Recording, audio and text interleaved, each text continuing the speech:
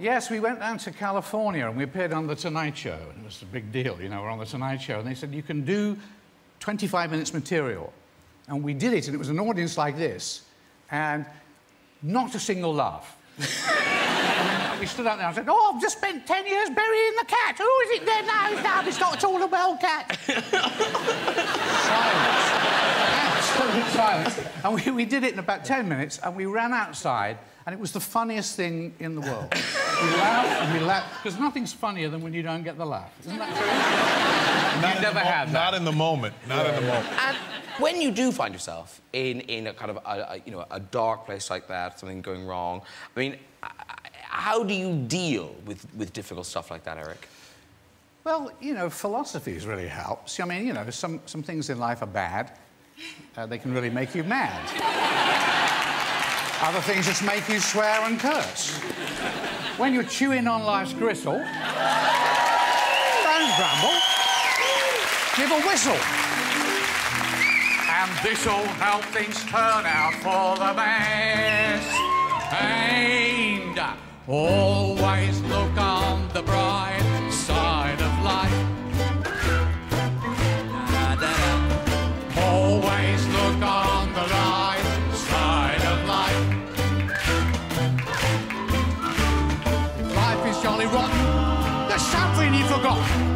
And that's to laugh and smile and dance and sing.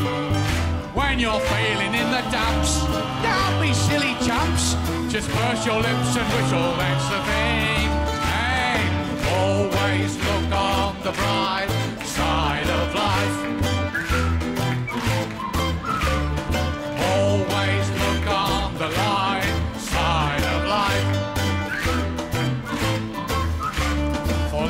quite absurd, and death's the final word. You must always face the curtain with a bow. Forget about your sin, give the audience a grin. Enjoy it, it's your last chance anyhow.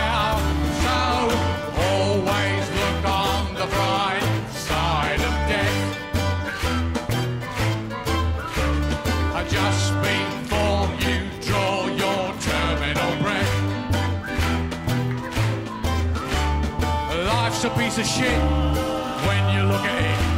Life's a laugh and death's a joke, it's true. You'll see it's all a show. Keep them laughing as you go. Just remember that the